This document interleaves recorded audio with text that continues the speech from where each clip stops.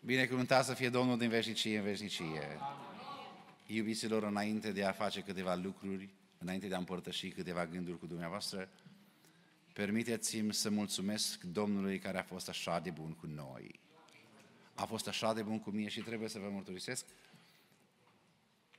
că am purtat o oarecare frică, deoarece am mai avut un incident la trecerea din state aici, dar am spus, Doamne Dumnezeu, dacă este voia Ta să vin, ăsta să-mi fie semnul, să fie ușoară trecerea mea. Și așa a fost. Slăvit să fie Domnul! Mă numesc Daniel Crișan, deloc din țară sunt din țara Oașului, județul Satul Mare, Comuna Vama. Cu 37 de ani în urmă ne-am, uitat, ne-am mutat în Chicago și acolo am rămas.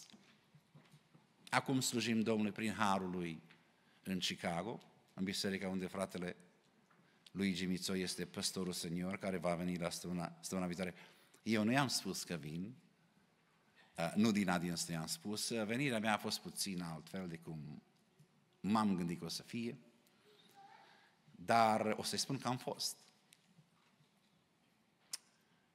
Acum aș vrea să aduc salutul meu, salutul familiei mele, salutul bisericii, unde slujim prin Harul Domnului.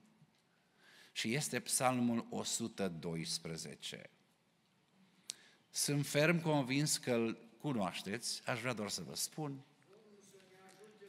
că sunt 13 cereri, eh, nu, sunt trei lucruri pe care Dumnezeu le cere și ne dă 12 înapoi. Ăsta da Dumnezeu, nu așa?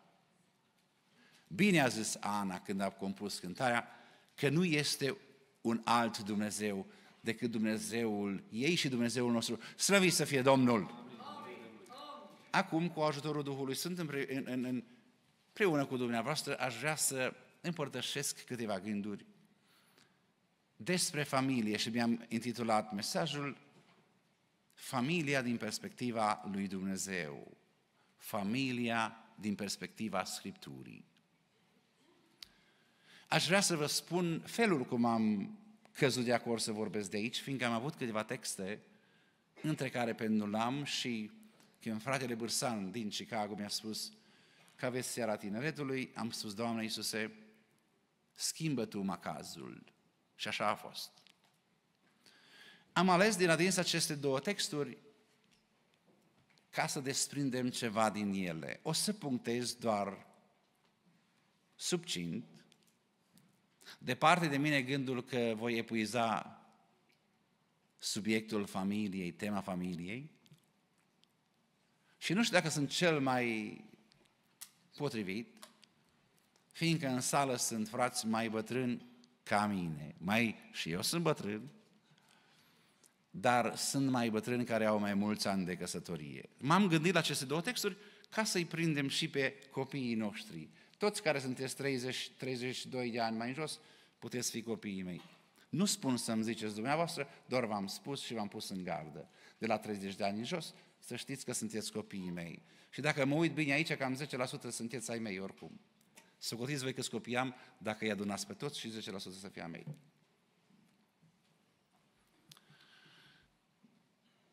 Pentru introducere sau în început, aș vrea să definim familia. Ce este familia? Termenul acesta în lumea laică este pătura de bază a unei societăți formate din bărbat și femeie. Bad enough că unii s-au trezit să ne spună că s-ar putea să fim fete noi băieții sau bărbații și la fete că ar putea să fie altfel. În Biserica lui Hristos nu este așa. Și dau slavă Domnului pentru toți creștinii care susțin adevărul. În special românii, noi n-am acceptat așa ceva. Slăvit să fie Domnul! Amin. Familia este creată de Dumnezeu. Și din punct de vedere al, al, al Bibliei, biblic, Familia este ceea ce Dumnezeu a înființat, dacă vreți să spun așa, este forma de bază între un bărbat și o femeie care se căsătoresc în Domnul. Și numai așa.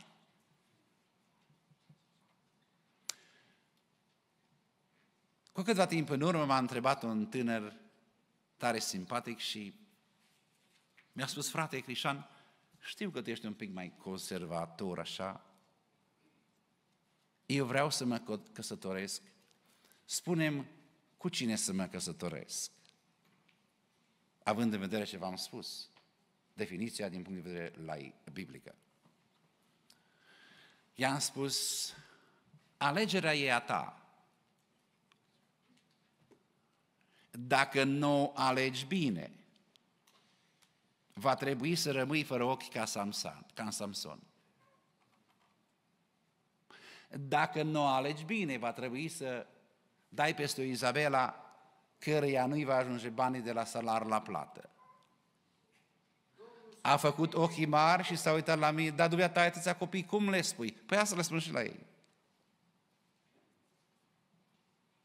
În primul rând, o căsătorie veritabilă, o căsătorie care dăinuiește, care să fie formată ca un edificiu care rămâne împotriva intemperilor și nu se clatină.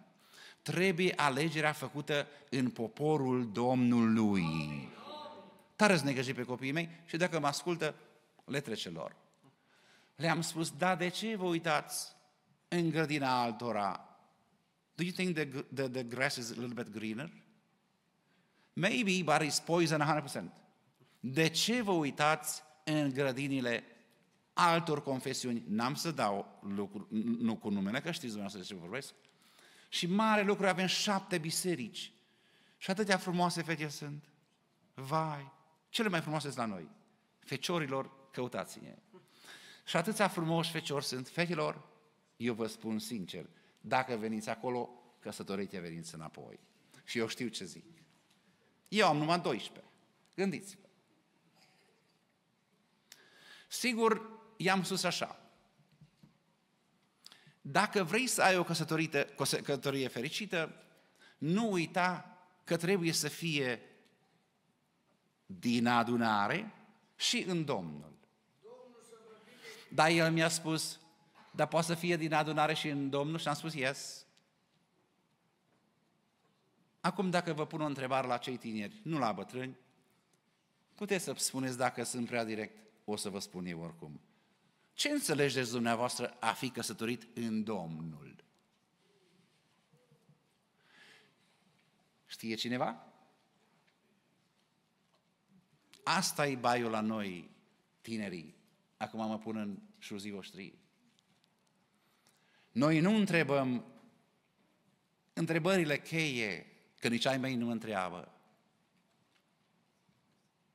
Și când își pun ochii pe Dalila, când pe Izabela. Și bai. A te căsători în Domnul înseamnă în adunare, în biserică, și presupune ceva. Aici e textul de bază și testul veritabil. Când cine se va se căsătorește în Domnul în biserică, că la discotecă nu aflați oricum, trebuie neapărat să-și pună ochii pe cineva care iubește Scriptura, care citește Scriptura, care studiază Scriptura, care înțelege Scriptura, care acceptă Scriptura și care trăiește Scriptura. Șase lucruri importante. Acum nu v-ați făcut notă, dar după ce plec puteți să vă faceți. Dacă scoateți din ecuație 1, nu mai aflați rezultatul. Și nefericirea este că noi, părinții, suferim și când dați cu băta în baltă. So to speak. Nu uitați? A te căsători în Domnul presupune numai și numai în adunare, înseamnă numai și numai în adunare, și presupune acest lucru, n-am vrea să repet, că vreau să fiu și în timp. Nevasta mea mi-a spus, ai grijă, pe unde mergi, cum te comporți, să te mai cheme frații sau să te primească. Și știți ce am spus? Yes, ma'am. Că doar nu vreau să dorm în garaj, nu așa?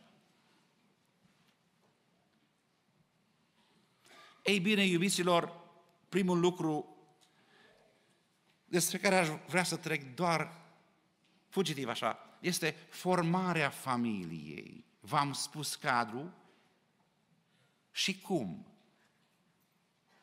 Formarea familiei este o problemă pe locul doi după mântuire. Nu vă spus nimeni, dar vă spun eu. Și dacă nu vă place, până e seara trebuie să mă iertați, că dacă nu, nu mergeți dreapta, mergeți stânga. Formarea familiei este pe locul doi ca importanță în viața credincioșilor. Prea mult se înmulțesc divorțurile și nu vreau să intru în detalii, că nu-i treaba mea. Eu am citit ceva în Scriptură și de asta mă țin. Că mă mai pun predicatorii voștri sau nu, păstorii? I don't care. Ce-a împreunat Dumnezeu, omul să nu despartă. Întrebarea se pune. Ce faci dacă dai peste o dalilă? Da peste o Izabelă. Sunt în cunoștință de cauză de un caz pe care vreau să vi spun. Acum mă adresez feciorilor. Cineva a venit acasă și a spus nevestei, dar ce s-a întâmplat că American Expressul s-a încărcat cu 30 de mii de dolari? Sigur, omul are bani, nu-l plâng eu. Și nevasta a spus, fata care seamănă cu tine i-a cheltuit. Vreți un astfel de caracter? M-am uitat la copiii mei și într-o zi unul din ei a venit cu o geacă de 500 de dolari. Da, a făcut așa frumos și a băgat-o în buzunar. Și am spus, are you kidding? Tata asta ține căldură, ci se pare ție. Fratele a atins un punct foarte pe care eu să-l ating mai încolo și mă străduiesc să-l ajung. Dacă cineva s-a născut de bani, gata. It's not a big deal, but remember, don't spoil your child. They will not appreciate.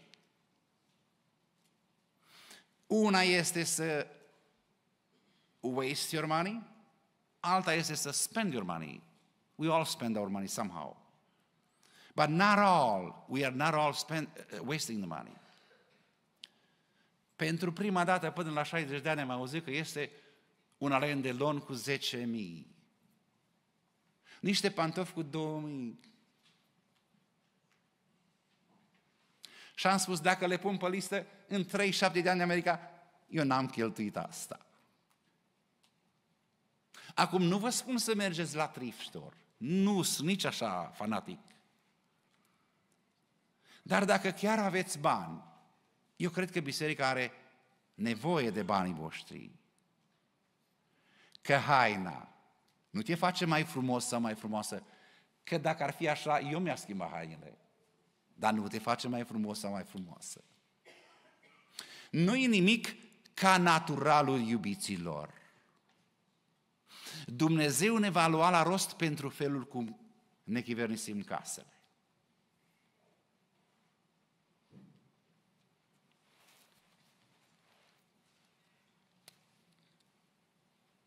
Familia trebuie să fie formată din doi leviți.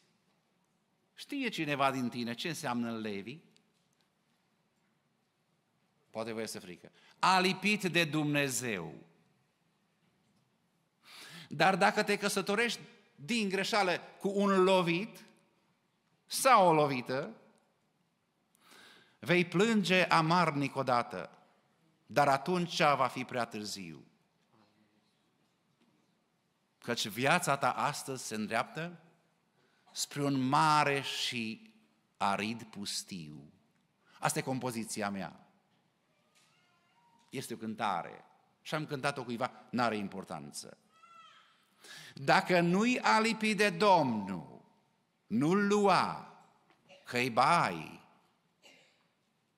Oamenii care nu-s leviți și zloviți, ei cred că nevasta lor este sclavă eu am citit în cuvânt, dacă bine am citit, n-am multe clase, am două clase și eu, așa ca trenul. Dar am găsit un verset care zice că nevasta este slava bărbatului, nu sclava bărbatului. De unde e ideea mă voi căsători? Ca să îmi vină mâncarea la pat. Din Scriptură nu Numai dacă îl iei pe Ahab sau pe Nabal, mai grav, și numele ne spune ceva, că e nebun. Un bărbat care își necinstește femeia este frate cu Nabal. Eu nu spun că e nebun, n-am spus asta. Dar este frate cu Nabal. Nu la asta am fost noi chemați. Nevasta este slava bărbatului. Și dacă credeți că trebuie să ne iubim nevestele, acum vorbesc cu frații, vreau un amin, cât ar fi de slăbuți, dar vreau un amin.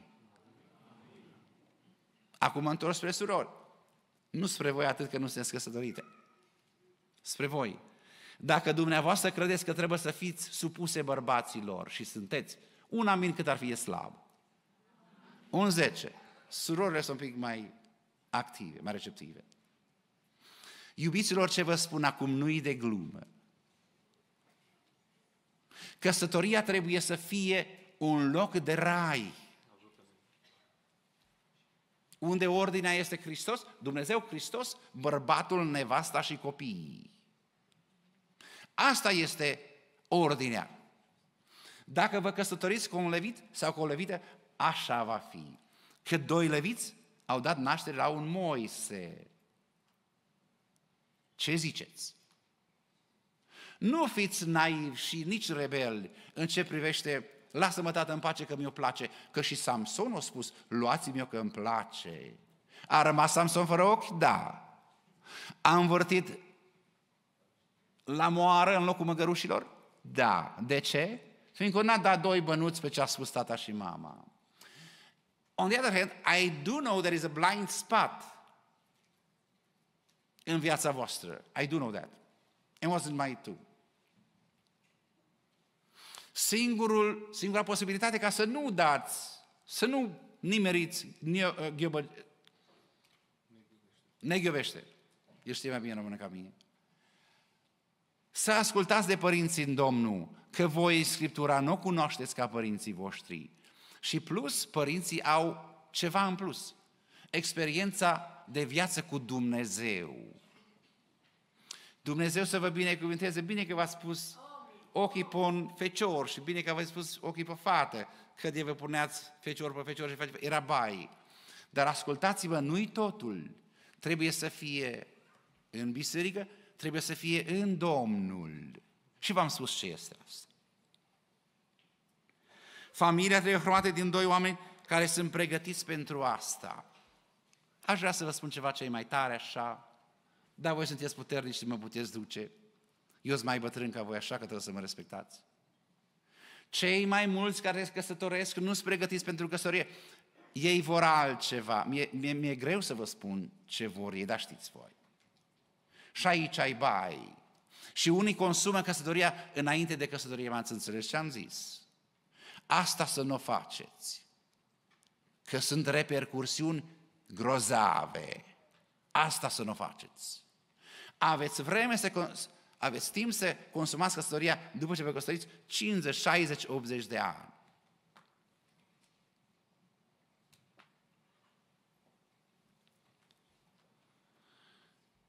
După ce ne-am căsătorit, trebuie să acceptăm că Scriptura este manualul de formare și funcționare a familiei. Ceasul meu este cu o oră mai în urmă și așa că nu mă, nu mă grăbesc. După ce am format familia, trebuie să știm cum să funcționăm. Foarte interesant. Să vezi pe cineva narcaric, bețiv, fumător, vine să pună mâna pe un crin. Și un crin care s-a ținut de Domnul. Aviz, aviz, mare greșeală. Dacă cineva se întoarce la Domnul, slăvit să fie Domnul, dar să-și ia una sau unul pe măsură. Că 60% din Darcarix, 60%, și bețivi și fumători, se întorc înapoi ca scroafa la vărsat. Și noi, părinții, suferim că am investit în voi 20-30 de ani mulți bani, milioane de dolari. Căsătoria trebuie, după ce am intrat în căsătorie, noi trebuie să cunoaștem funcțiile. Fiecare o funcție are. Bărbatul are funcția lui, nevasta are funcția ei. E vai, e bai, acolo unde bărbatul ia baticul și baticul să schimbe cu pălăria. E o problemă, surorilor, uitați-vă la Debora. A fost o femeie de toată frumusețea. Și eu am o Deboră. Și așa de frumoasă e. Și cuvinte. Aviz băieților.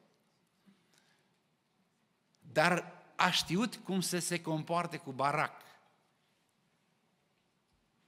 E așa de bine, iubiților, să ai o nevastă care te respectă și atunci când nu ar fi trebuit. Că și noi bărbații mai greșim. Este așa sau nu? Să nu mai zic că noi suntem logici, ca să nu zic că suntem stubborn sau încăpățânați. Foc! Uneori. Și după ce dăm cu băta în baltă, mm, trebuie să ne ducă nevasta așa cum suntem. Că doar noi suntem bărbați.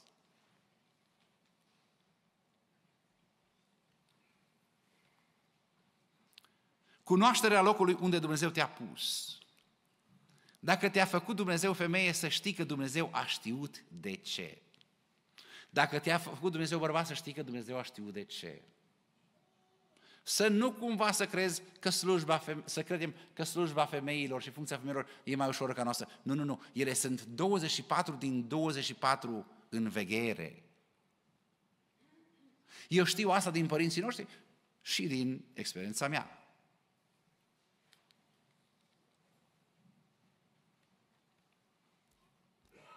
Ordinea priorităților în familie cunoscută, acceptată, implementată. Care este ordinea priorităților? Dumnezeu, bărbat, soție și copii. Și împreună formează un edificiu care nu se poate distruge. Baiul este când nu este așa. Relația cu Dumnezeu și relația cu cei din casă, iubiților. Să nu faceți greșeala care am făcut-o eu. Am lucrat, am lucrat și iar am lucrat. Am lucrat la început până n-am fost căsătorit cu 4 dolari la oră și am făcut 75 dolari la zi. Vă lăs pe voi să faceți o matematică simplă. Dar nu se merită. Familia, copiii, trebuie să aibă și tată și mamă în casă. Nu se poate numai ca mama să crească copiii, că cresc strâmb și bai. Acum mă refer la frații, mă îndrept spre ei, că îi iubesc. I hope că și voi mă iubiți pe mine. Domnul Iisus Hristos, dacă vă iubiți unii pe altul, prin asta vor cunoaște oamenii că sunteți ucenicii mei. Nu cheltuiți timpul la Starbucks, pe la șah și pe la Home Depot. Că vine o vreme când Dumnezeu ne va cere socoteală din mâna noastră. Ne place să credem sau nu, așa este. Din momentul în care cineva nu mai trage acasă, are o problemă. Nu-și mai iubește nevasta. De sfârșit. Dar ce înseamnă ați iubi nevasta? Și ce își presupune ați iubi nevasta? Ați iubi nevasta înseamnă a fi atașat sufletește de ea și numai de ea. Scriptura nu spune că bărbatul trebuie să-și iubească nevestele. Cuvântul Domnului spune că bărbatul trebuie să-și iubească nevasta, așa cum e. Mai bună, mai rea, mai rea de gură, mai bună de gură, mai știu eu, aspră. Că unii din noi avem nevoie de surori un pic mai aspre. Ce ziceți? Am întâlnit un om care are mulți copii. Și mereu îmi spune că îl doare lombii, dar e un sănătos tun. Cât un urs de puternic. Și el nu merge la locul și am spus, băi, uite eu te ajut. Dacă când te-ai căsătorit nu te-a durut lombii? De ce cheltui vremea peste tot și la locul nu-ți place să mergi? Să avem grijă, surorilor, că dacă ne căsători, vă căsătoriți sau tinerilor, cu loviți sau cu lovite, avem și problema asta. Și bai. Apoi, ferirea de faliment. Relația cu cei din casă, nevasta, copii, relația cu Dumnezeu. Drag, dragostea este prima lucrare care ne, care ne ferește de faliment. A fi atașat cu sufletul de nevastă, prima, și asta presupune respect, reverență și providență. Nu vă testez, că nu e genul meu, dar trăim o vreme în care unii din noi nu dăm doi bănuți pe nevestele noastre. Și știți ceva? Când nu dai doi bănuți pe nevastă, nu dai pe tine. Și știi ceva? Când nu-ți iubești nevasta, nu te iubești pe tine. Și știi ceva? Când nu-ți iubești nevasta, iubești o altă amantă. Și lucrul acesta e grav. Bunătatea, iertarea, îngăduința, lipsa reproșurilor. Iubiților, noi trebuie să ne iubim nevestele cum a iubit Hristos biserica. E biblic ce vă spun, nu? Am fost undeva într-o biserică și am spus fratele Daniel că am greșit, dar nu știu că am greșit. Am să vă spun și vouă. Și dacă vă supărați pe mine, trebuie să mă iertați. Bărbatul trebuie să-și respecte femeia ca pe o prințesă. M-ați auzit ce am spus? Hristos este prințul păcii. El are mireasă și are prințesă. Și nevestele noastre au fost cândva mirese și au fost prințese. Acum ce s-a schimbat? Avem o problemă, noi bărbații. Bărbaților, iubiților, nevestele, spune Apostol Petru, și nu țineți necaz pe ele ca unii care veți moșteni harul vieții. Atașa sufletește, respect, reverență și providență. Asta duce la o familie bună. Îngăduință, iertare, lipsa reproșurilor, lipsa priet, pretențiilor, iubiților. Și eu sunt bărbat, ca voi. Și eu mă duc la lucru, că de n-aș merge, ar fi vai de mine. Dar nu-mi permit să vin acasă să mă arunc pe sofă și să nevastă, ia adu aici mâncarea, ce este, cum este. Nu așa se susține o familie în mijlocul zădufului în care noi trăim. Nu vă uitați la Hollywood, ăștia sunt toate falsonetii. Don't pay attention.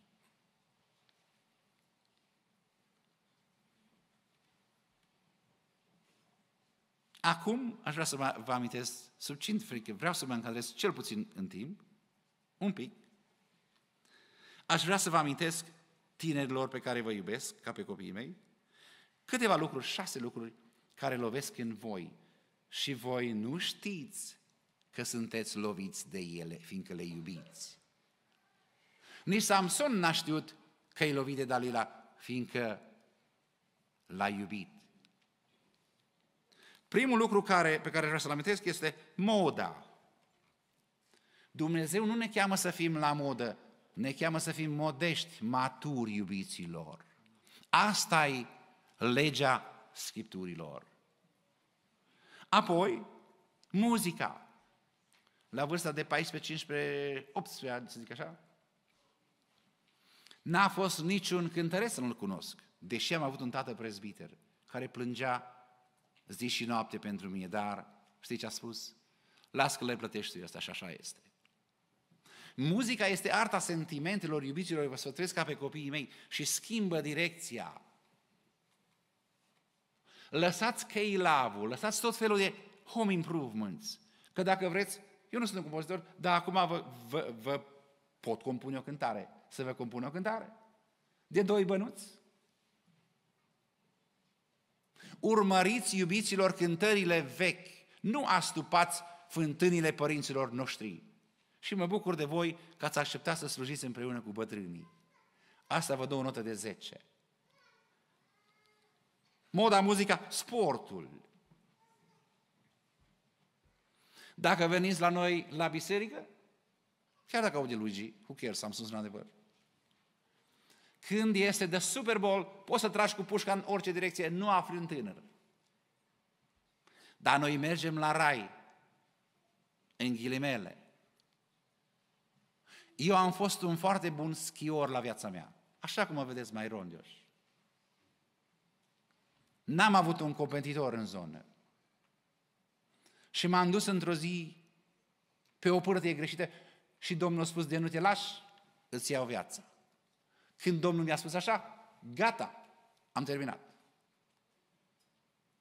Am fost un schior de elită între ei atunci. Fiindcă sunt ambițioși și încăpățânate la fratele Daniel.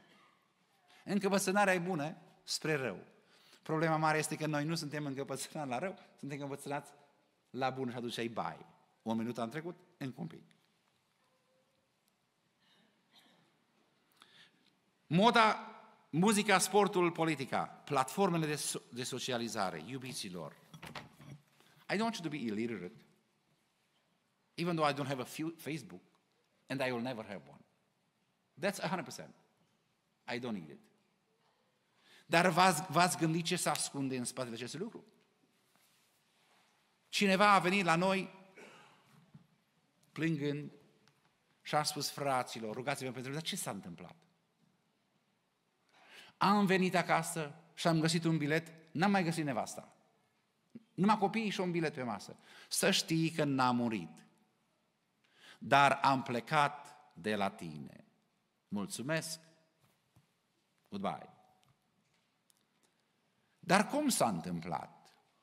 Datorită Facebook-ului. Și-a adus aminte ea, bineînțeles, de aventurile din tinerețe, un lucru pe care vreau să punctez, comportamentul vostru înainte de căsătorie primează în căsătorie iubiților, ascultați-mă, fugiți de imoralitate cum se fuge de foc.